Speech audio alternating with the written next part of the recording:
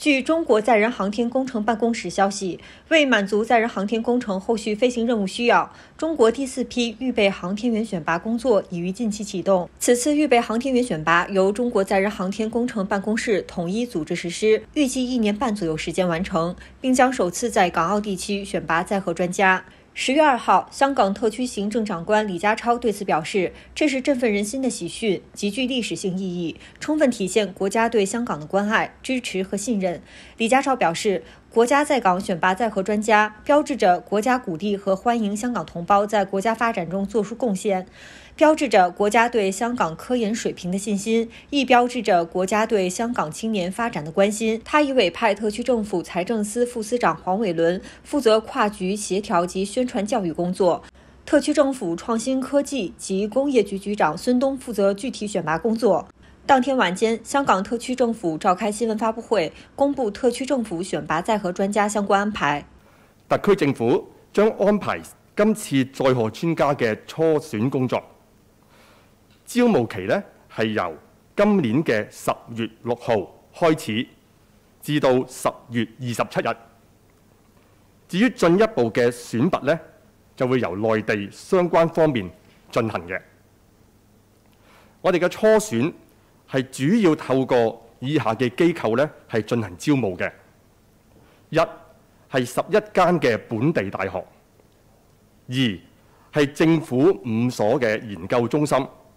同埋香港生產力促進局。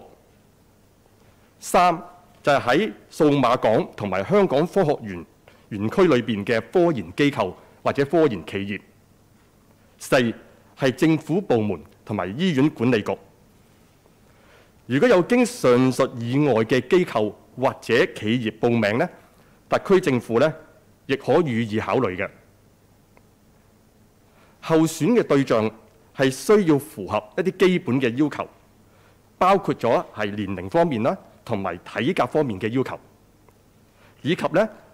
佢哋要喺相關嘅專業領域擁有博士學位，同埋呢，佢哋嘅專業嘅經驗呢。係唔少過三年嘅，我哋鼓勵符合所有基本要求同埋有志於助人航天事業嘅人士踴躍參加。麦德偉表示，在荷专家一般来说背景是科学家、科研人员，执行太空飞行任务时，主要负责开展太空试验、操作使用太空试验设备，配合其他航天员处理站务管理日常工作。据悉，香港特区政府将举办系列活动。加深香港市民对国家航天科技发展成就以及香港专家对国家航天工程参与贡献的知识和了解。咁按我哋初步嘅计划呢，咁香港電台會製作一啲特別嘅節目啦，介紹香港科研人員過去參加國家嘅航天事業咧嘅一啲嘅經過啦。港台咧亦都係會去搜羅同埋會去播放其他一啲同航天相關嘅活動嘅。太空館同埋科學館咧，亦都會舉辦一啲專題嘅講座系列，誒介紹下航天科技同埋我哋日常生活嘅一啲嘅關係。並且咧都會邀請航一啲嘅航天專家啦，同埋曾經參加過少年太空人體驗營嘅一啲學員，就同大家去進行一啲交流同埋分享。教育局、民政及青年事務局亦都會鼓勵學校、青年同埋地區團體去舉辦同埋參與呢一啲嘅活動嘅。喺國家科技部同埋香港創新科技及工業局嘅大力支持之下咧，團結香港基金咧會喺十二月咧舉辦第四屆嘅創科博覽，展示國家喺航天同埋其他領域下邊下面嘅一啲創新嘅成就。咁當中會有唔少嘅一啲航天嘅展品嘅。